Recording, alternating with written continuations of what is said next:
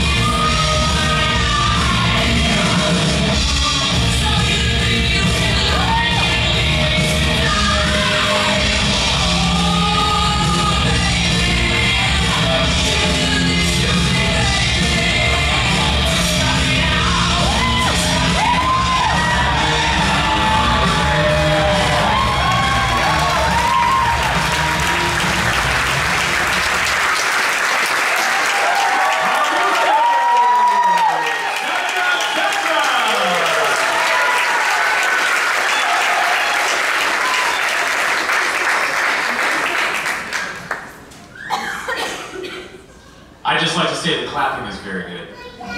You should give yourselves a round.